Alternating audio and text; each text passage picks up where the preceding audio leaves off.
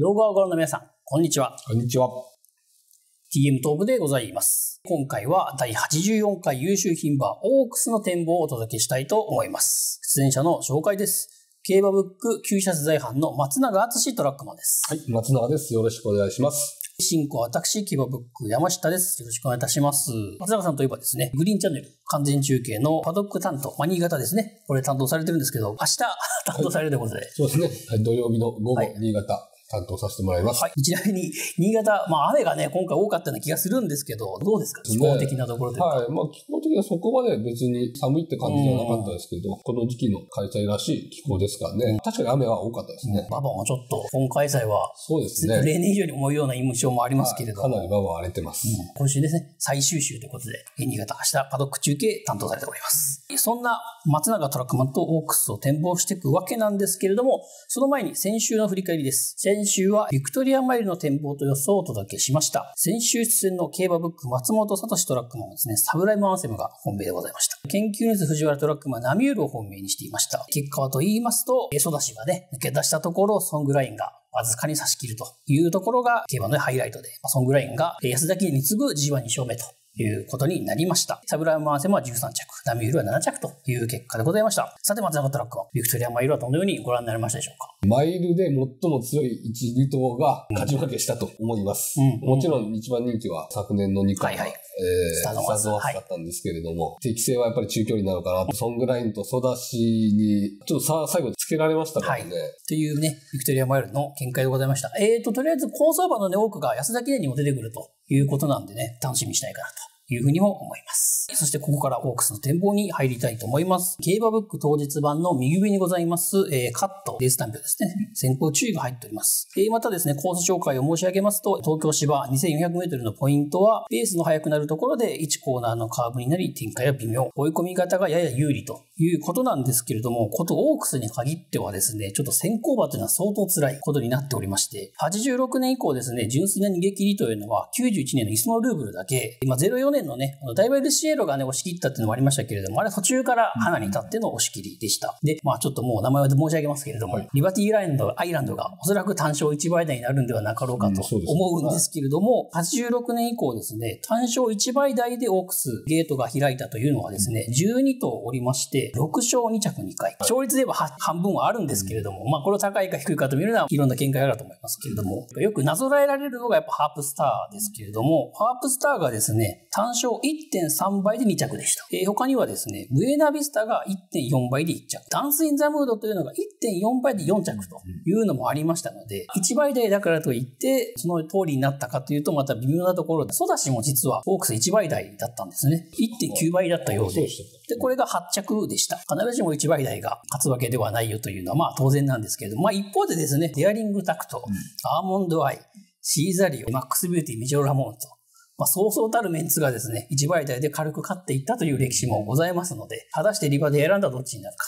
というところが一つポイントかなという気もいたします。というわけで、まあ、ちょっとオッズとね、えー客観的なお話を差し上げました。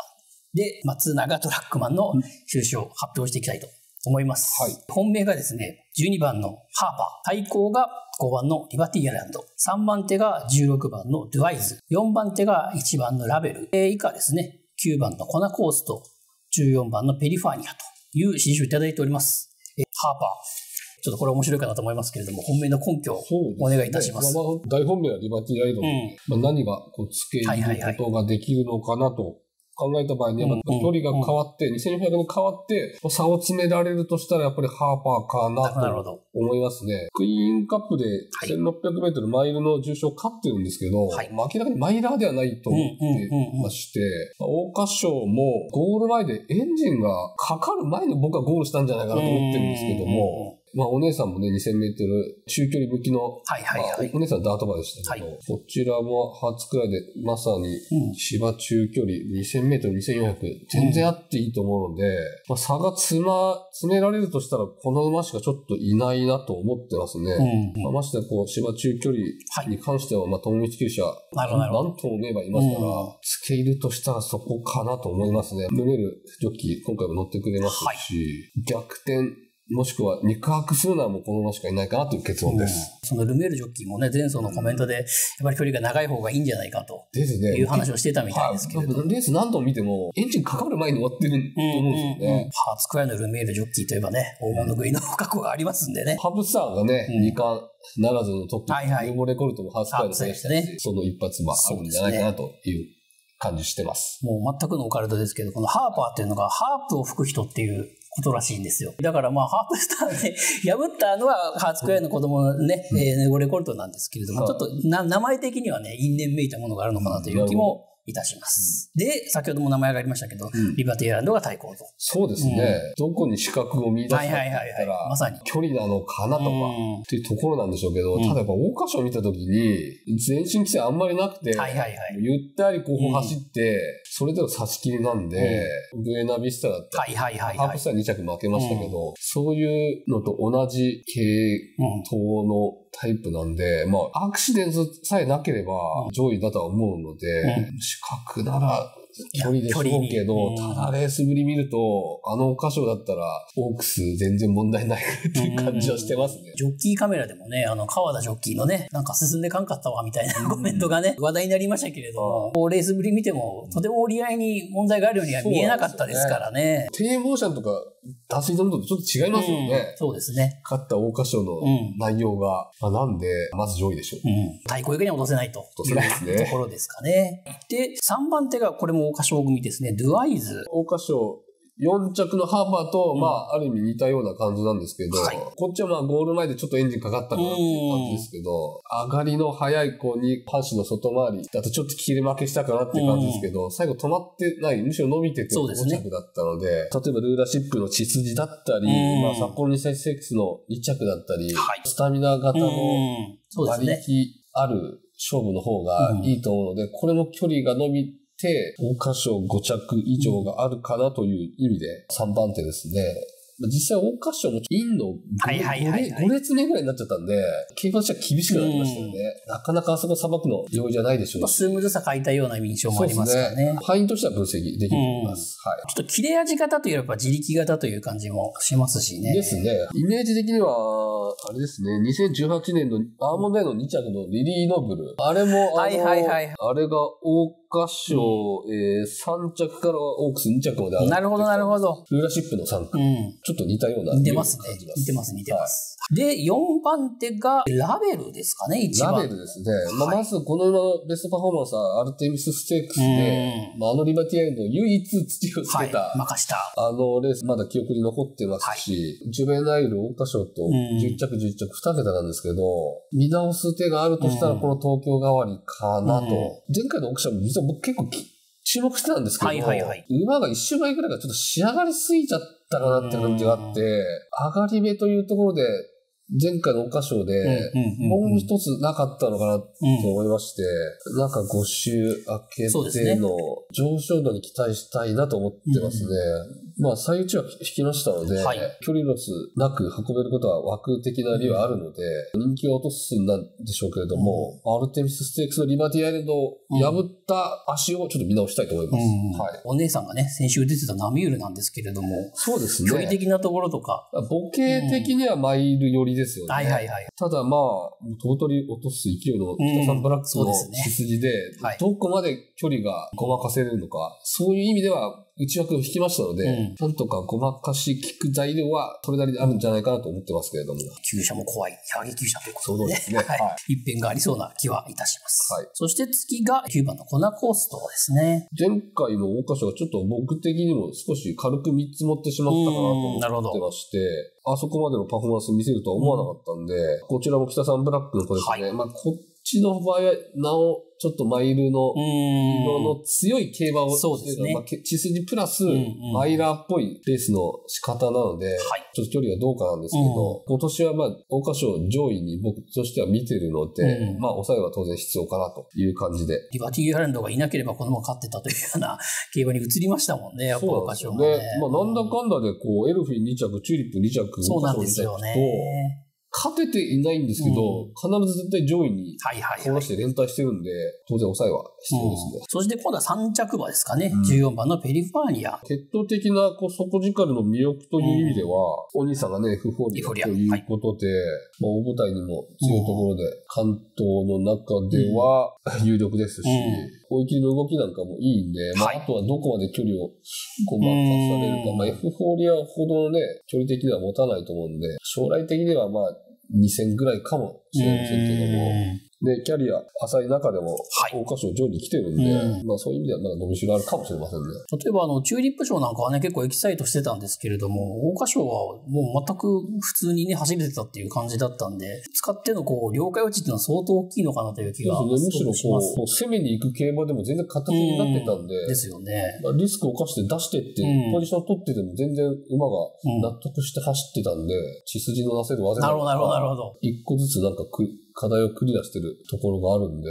楽しみな一頭ではあります。うん、そうですよね。距離はともかく、もう素質としてはかなりのまあじゃないかな世代のね。まあリマティアルのが一頭ちょっと抜けてるかもしれないですけど、その次ぐらいの勢力図の一角になると思います。というわけで、えー、印についた馬、お話しいただきました。注目の馬券の買い方は CM の後で。昭和20年からいくつもの言語をまたいだ蹄鉄走り続けてきた理由信頼根拠数字信用